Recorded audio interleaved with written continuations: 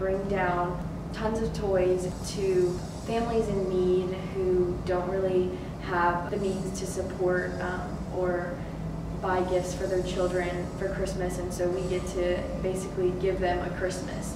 We partner with able families, and we're able to um, give those kids in Kermit, West Virginia, Christmas.